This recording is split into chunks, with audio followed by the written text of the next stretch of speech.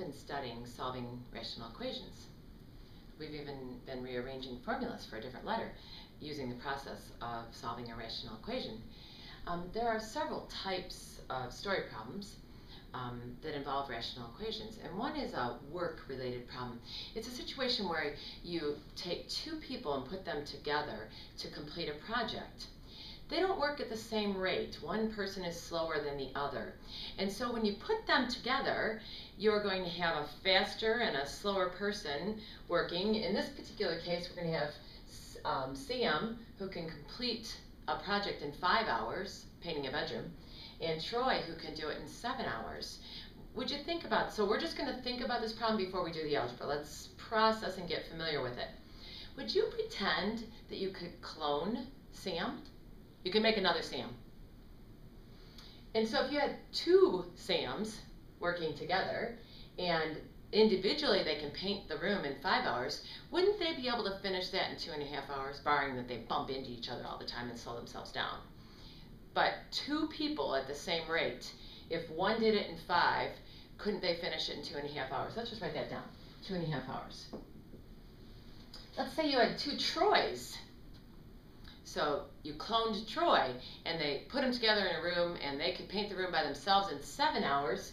So couldn't they paint that room in three and a half hours? But we're not going to put clones together. We're going to put Sam, who's a little bit faster, with Troy, who's a little bit slower, and we're going to see how fast they can paint that room. They're going to work at the rate that they could by themselves. So wouldn't they actually finish this project somewhere between the faster two and a half hour situation and the slower three and a half hour situation?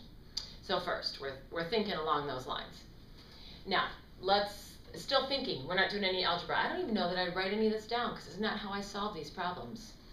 Um, if Sam and Troy worked for one hour, so Sam can paint a room in five hours. If he worked for one hour, wouldn't he get one fifth of the work done?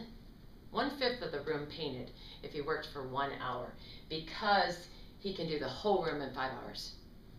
And Troy works for one hour, and wouldn't Troy get one seventh of the project done but they're going to work together, not by themselves. And so if we added their work that they accomplished together, then we have to get common denominators. And so they would get 7 35ths and 5 35ths. Let's write that over here. 7 35ths and 5 35ths, or they get 12 35ths of the work done. 12 35ths. Mm. I don't want 12 35ths of the room painted, I want the whole room painted. So let's have them work for two hours. And so wouldn't Sam get two fifths of the room painted and wouldn't Troy get two sevenths of the room painted in those two hours? So again, common denominator 35, and so um, Sam will do 14 35ths and Troy will do 10 35ths. And together now, they've done 24 35ths of the project. Not good enough for me. I want the whole job done. So always want to finish the whole project. And if we did this again, um, if we said they worked for three hours, then we'd have 3 fifths for Sam and 3 sevenths for Troy, and that would be 21 35ths and 15 35ths. Uh-oh, let's see. I think they just did too much. um, they did 36 35ths of the painting, and I only wanted 35 35ths. I wanted this to be one, not less than or more than. I wanted the whole project done. So from this, just getting familiar with this problem, would you please notice that in every one of these fractional situations, we put their time that they do the project alone in the denominator. And upstairs was the time that they were working together. So when they worked together for one hour, they got that much done. For two hours, they got that much done. And for three hours, they were they overdid the work. But this three is their time working together in those numerators.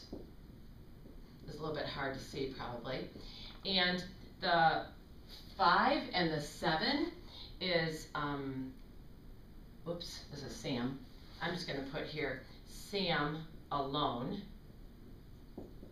and Troy alone. And they didn't want to get 24 35ths done or 36 35ths done. They wanted to get the project done. They wanted to finish the whole. So finally, let's actually do this algebraically. So I was just trying to get you familiar with why, a couple of things. Why do you set it equal to 1? Because I want the whole project done. All right? Um, and why do you put in the denominators the 5 and the 7? Because that's going to help us to re represent the portion um, when they work together for T hours and um, Sam um, can get this done in five hours. That's the portion of the project that Sam's going to accomplish. And then this T over 7 is going to represent the portion of the project that Troy is going to accomplish. So it's T over A, sometimes we say, plus T over B equals 1. A and B being the two different people. And then finally, the least common denominator for this is the number 35. And so when I multiply this by 35, and this by 35, and that by 35, I'm guaranteed to get rid of the denominators because 5 goes into here 7 times.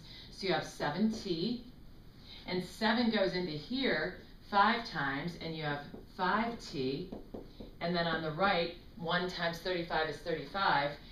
12t is equal to 35, and it's going to take them 35 twelfths hours. Let's, let's figure out what 35 twelfths is.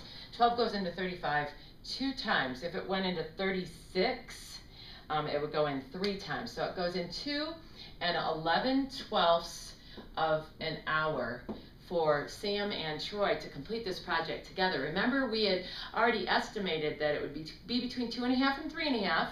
Please notice it's not going to be right in the middle. That's the, the thing you have to be careful of.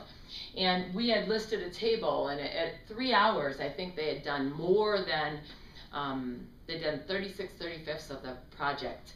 So that's the amount of time that it would take them working together. I call these work-related applications of rational equations. It's one of the types of the story problems that you'll see. In the next um, clip, I'm going to share with you a problem that involves distance, rate, and time, and speeds of vehicles or boats or you know cars, boats, people walking, running, um, whatever. So we're to we're going to talk about distance, rate, time problems as it relates to rational equations.